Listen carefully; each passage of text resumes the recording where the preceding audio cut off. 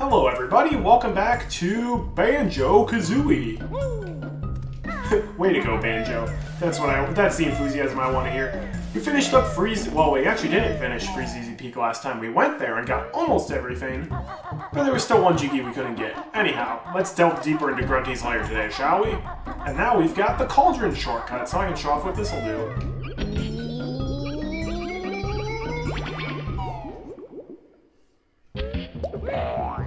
Booyah! Shortcut to the cobweb room. Anyhow, there's this weird um, stone carving of Grunty's face here, and a note door with 350 notes on it, which we can easily break.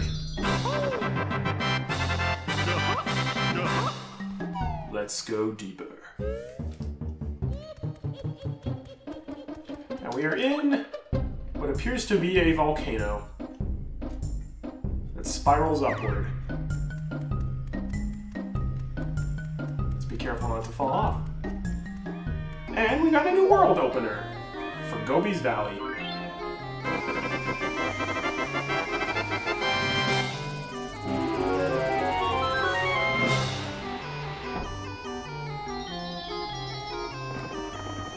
We saw that tree earlier. Gobi's Valley. Now let's delve in a little deeper before we go back into Gobi's Valley, which is the next world. We've got the monster face here. Wonder where this leads.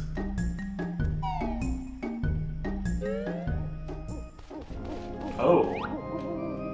It's a graveyard.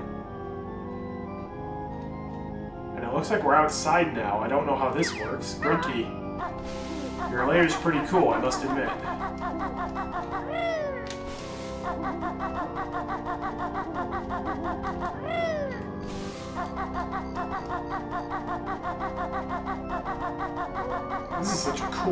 Holy cow. I mean, I kind of like spooky worlds in video games, like graveyards, creepy castle from Donkey Kong 64, all that jazz. Oh, hey, it's Brentilda. Hanging out behind a tombstone. When I'm nice and slim once more, burgers, fries, and chips galore. Um, that's gonna make you fat again, Grunty. I don't think you understand how this works. If you're fat, it's because it's generally because of lifestyle choices. Did you know Wartbags keeps a loogie-filled hanky in her pocket for luck? I mean, hankies that tend to end up loogie-filled if you use them a lot. I've also seen my sister cuddling a huge, sweaty baboon in bed at night. Okay.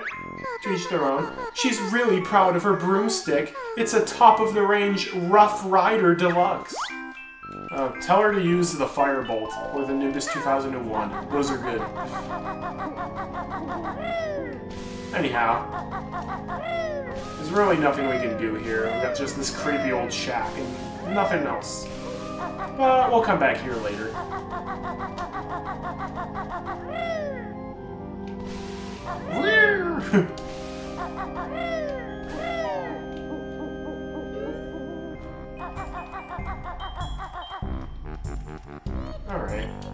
There's also, ooh, this windy way. Very narrow. Oh, hey, it's another Brentilda. And a tiny little tunnel that we can't fit through. We've seen one of those before.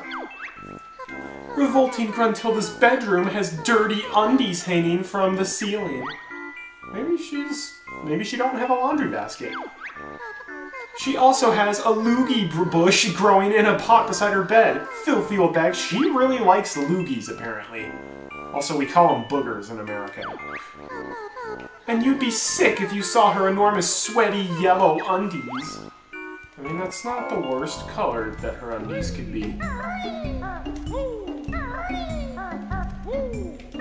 That's why if you wear white underwear, like, it's gonna get stained pretty fast.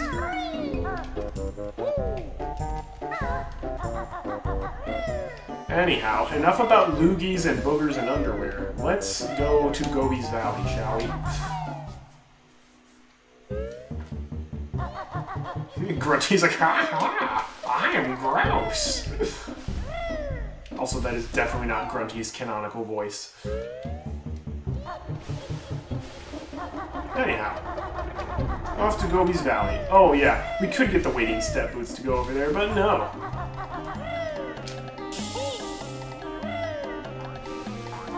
Alright, Gobi's Valley.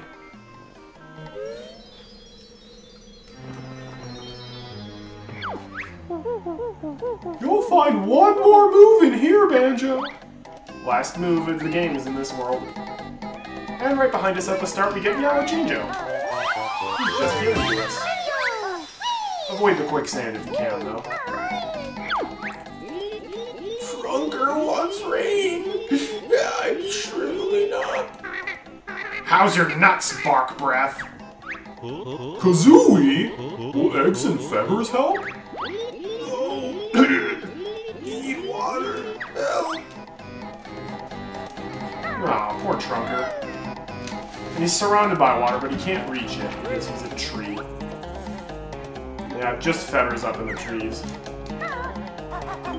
Gotta use the Talon Trot to get up these moving quicksand slides.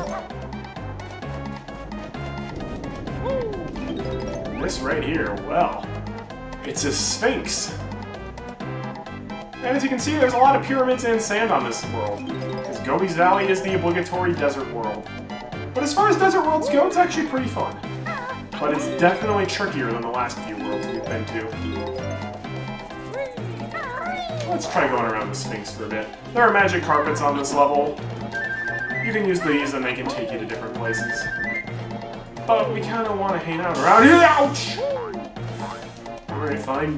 Nope. Get in those boots.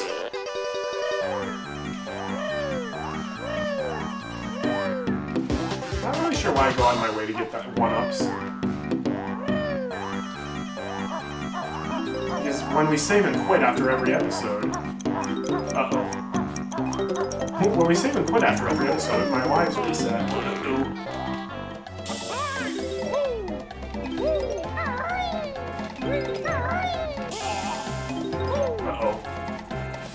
That's not good. Let's try this once again.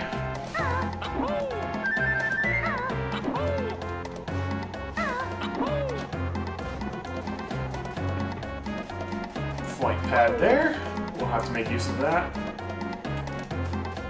Perhaps we'll make use of it now. Here's the thing, though. Magic carpets are kind of unnecessary since you can fly. No, no, we want that Mumbo token. Oh, the Sphinx has Banjo's face on it for some reason.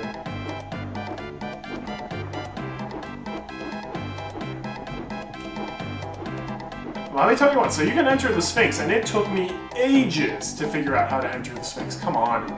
Man, I forgot how annoying the flying controls can be. If you just want to turn a little bit, it's almost impossible. There we go. Yeah, if you want to enter the Sphinx, you have to land on one of these platforms. My dog is all blocked up. He's literally a sentient Sphinx.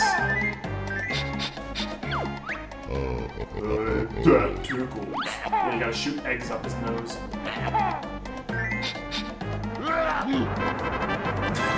And he sneezes and then it opens up. Like, literally, I beat the game before I learned how you can do that. That is a grabba!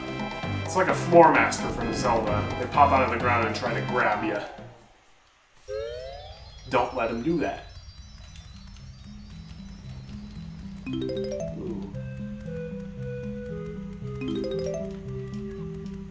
Kind of creepy in here. Magic carpet here. I hear a Jinjo. Feed him an egg. The magic carpet goes up. Let's grab that orange.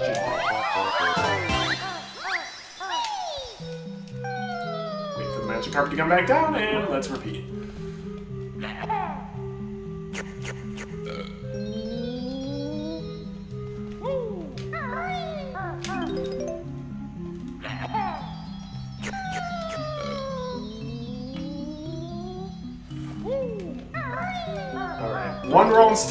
And I could die.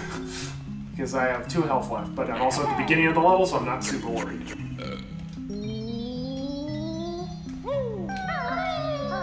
Alright, first Jiggy of the level. Now to get out of this mess, we're gonna use our ground pound. And we can fall to the ground without dying. Okay, ouch. Oh no! I didn't expect him to pop up that quickly. Well, at least we died at the beginning of the level. Let's try this again. That is not the right button. Yeah, I meant to use the invincibility to knock him out. Alright, another Mumbo token and grab the other two notes in this room. well, hey, you just passed your best note score for this world! Yeah, because I just cut back to where I was before. Alright, let's be a little more careful on this level. Don't be afraid to use your invulnerability feathers to take out some of the enemies on this level. As there are many enemies that the, invul the invulnerability feathers are the only way to take them out. Alright, anyhow, let's explore more of the level, shall we? I didn't know Banjo had all these gold statues of him.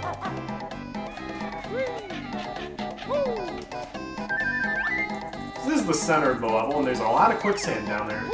There are a few flight pads down there should you fall in, but it's just best not to fall.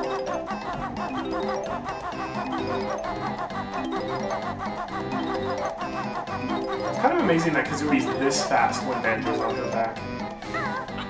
Banjo ain't no lightweight.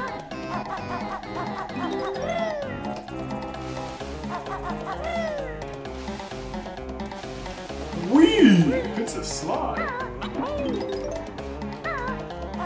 Let's try to find bottles as soon as we can. There's a pyramid here.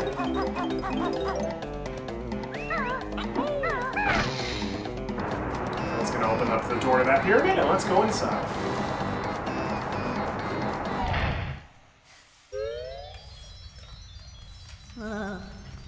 Alright, so this is a mummy. You can knock them out temporarily, but then they'll come back. Now we get to play a matching game.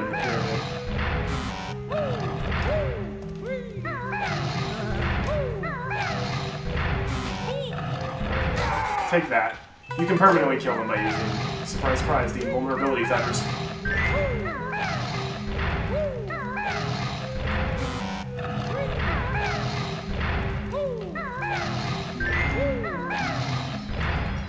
Good.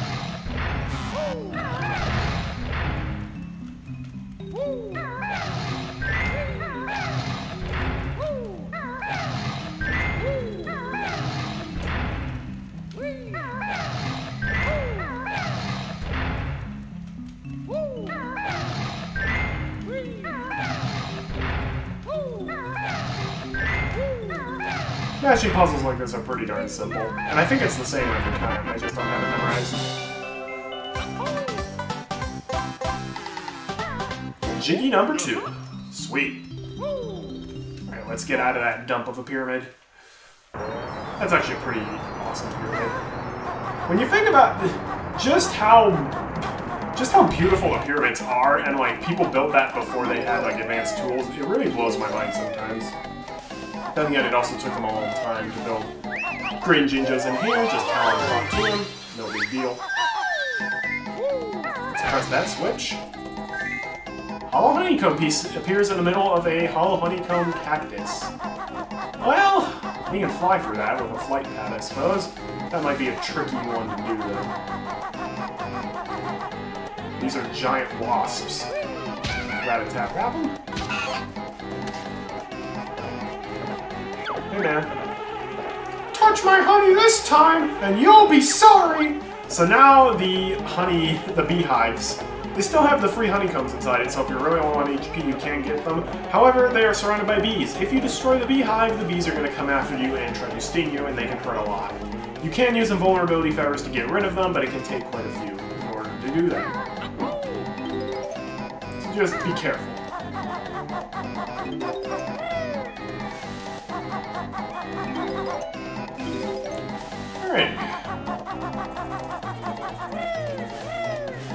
Kazooie pyramid here.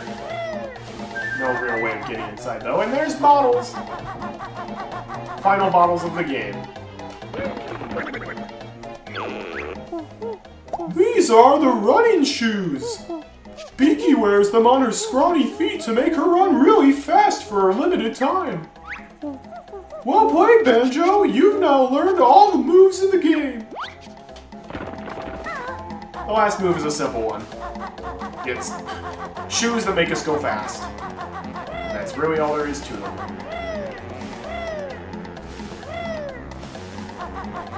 We'll go down there once we can find a pair. They, here they are.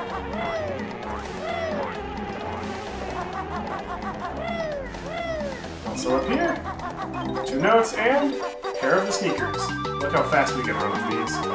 And if you pick up the wading step boots, it overrides them. You can't have both the wading boots and the running shoes, as you may have guessed.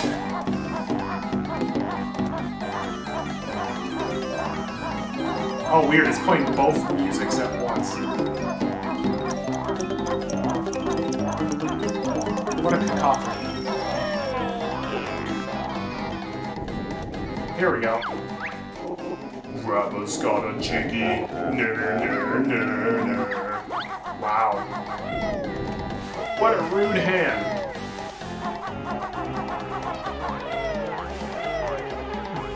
Well, what we can do is we can make use of these sneakers.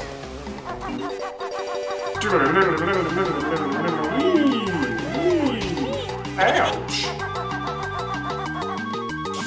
Ouch! Give me that. No, I've had that a thousand years. Well done, mortal. Has he just been like near, near, near for a thousand years? What a butt. Uh-huh. At least he doesn't try to kill us like the other hands.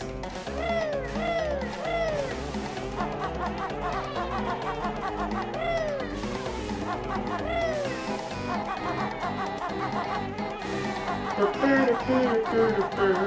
there's a giant pyramid here. This is the biggest one of them all. Stepping on that switch, just stepping on it, not even ground pounding it, opens up the trapdoor on the top. Let's see if we can get there.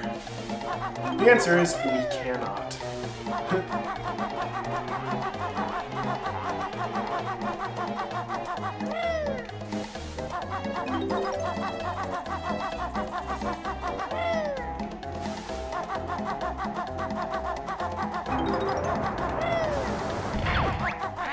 Grunty's race you cannot beat until you find some faster feet. Grunty's race you cannot beat unless you find some sort of cheat. How about we step on the switch, get a flight pad, and just fly to the top? Actually, it's much more simple. We just get the turbo trainers. That's why you only have to step on it. So that way, you can just use the sneakers to get to the top. Also, much like the wading step boots, most of the time the sneakers only last for a short time. Some pairs of sneakers though last longer, like this pair.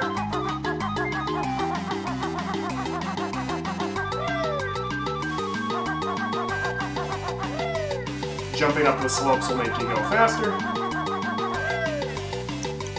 And even, wow, you barely have enough time to do that. And wow, the pyramid is filled with water. And there are stones in the shape of a happy smile in the center. Let's grab that. That opens up the door, and that's going to drain all the water in this pyramid. And it's going to fill up the quicksand pit in the middle here. Now we can actually explore down there without getting our feet burned.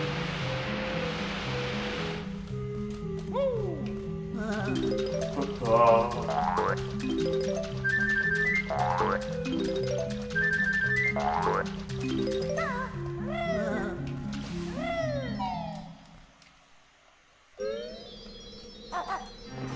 thanks, Grunty. Bye. Oh. No, come back here, Magic Carpet. Ouch. Oh, hey, there's a camel here. Hey, what's up, man? it's too hot for Gobi. I need some shade. Please help me. Here you go, Gobi. It's your valley, after all. Here's your reward, Bear. Gobi's off to cool down. Thanks, Gobi.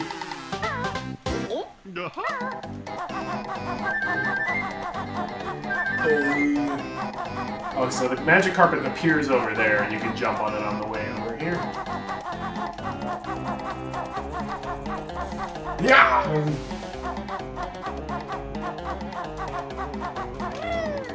anyway, back to safety. I only have free HP, and I'm not really comfortable with that. Anyhow. Let's see what's down here at the bottom. We got notes, as you may have expected. But there's also a little something more. It's Blue Jinjo! All we're missing now is the Pink Jinjo.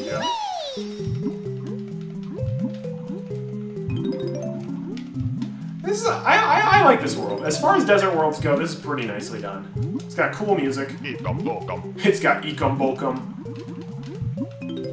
And it's actually pretty challenging. As you can see, we, well, we've died on this level already. Alright, that's everything underwater. It's challenging, but it's really not unfair. And there's a lot to explore, and it just feels... It's fun to explore this world.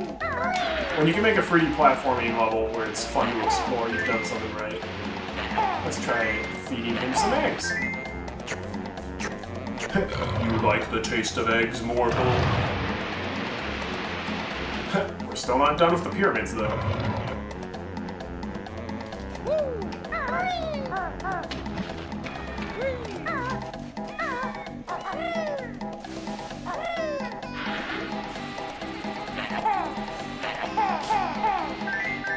There you go.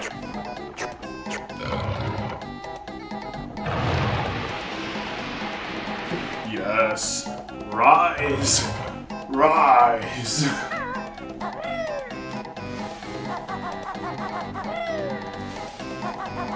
It's, it is weird how like all of these are decorated with Banjo's head though. Like is Banjo worshipped as a god here?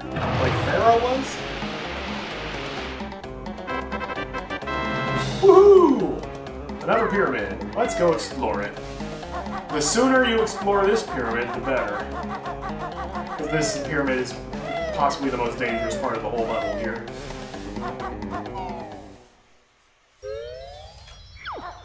This is King Sandy Butt's tomb. Turn back or face his wrath. Okay. Um, well, how, how bad can the wrath of a guy named Sandy Butt be? Chose not to heed our warning. Prepare to run! So we're now in a maze. We have to find our way out. If, if time runs out, we instantly die. Also, the witch switch is in here. Which switch is over here? Sure you hit that.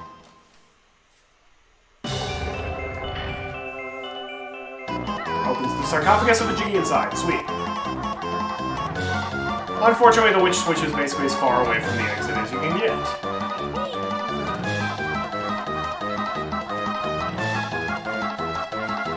And here's the exit. It's really not too bad, especially if you Talon Trot. No, the bear survived. He's after the king's ancient relic. Just a little. It just a little bit. It's a jiggy!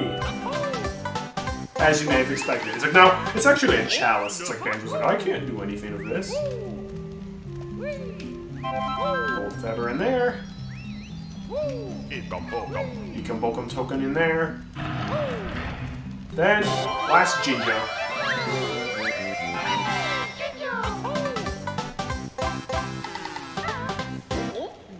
Alright, only three genies left.